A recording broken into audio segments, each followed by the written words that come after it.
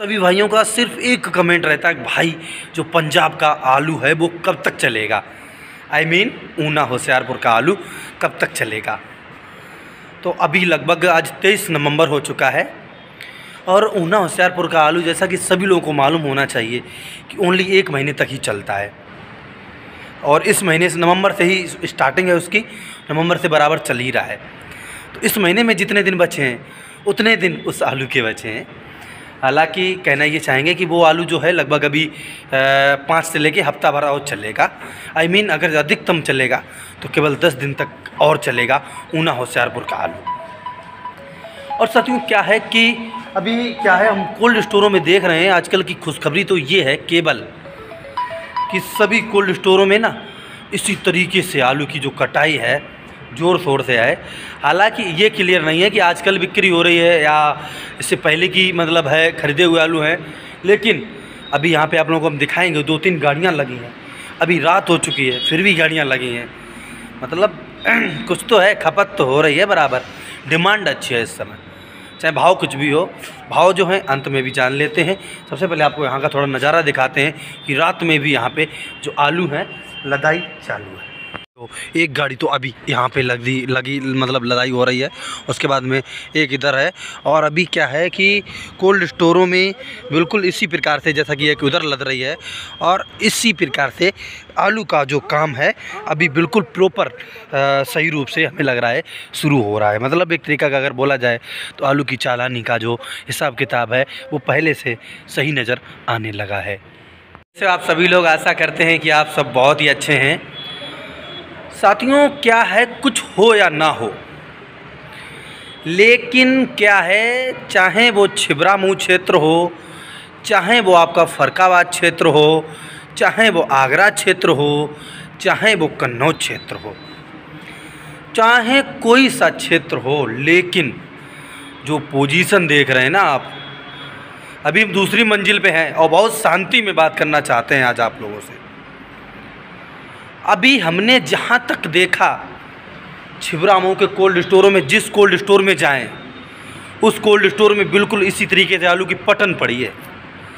पटन पड़ी है और कटन पड़ी है। मतलब बिक्री नहीं हो रही है, ऐसा लोग कह रहे हैं। हो रही हो या नहीं हो रही हो, उससे कोई मुझे वो मतलब नहीं लगता है। लेकिन एक चीज़ मेरे ये नहीं समझ में आ रहा है, जब बिक्री नहीं हो रही, इतना आलू कट रहा है, सभी कोल्डों में कट रहा है, हर जगह से जा रहा है। अभी यहाँ में रात हो गई है और फिर भी लगभग तीन गाड़ियाँ लगी हैं बाहर। अभी आपको हम दिखाएँगे। यार भाई, आप लोग जहाँ जहाँ से वीडियो देख रहे हो अच्छा ये बात सच है या नहीं, ये बताओ। इस समय कोल्ड स्टोरों से जो बिक्री है, वो हमें लग रहा है ठीक ठाक हो रही है। मतलब जो आलू की निकासी है ठीक ठाक हो रही है, वो चाहे किस हिसाब से भी हो रही हो। अभी आलू के भाव की भी बात करेंगे आज पूरे दिन आलू का भाव क्या रहा और क्या कैसा स्टेटस है सभी जगह का। तो अभी हम देख पा रहे हैं सभी जगह आलू की जो निकासी है ना, वो बराबर हो रही है हर कोल्ड स्टोर से।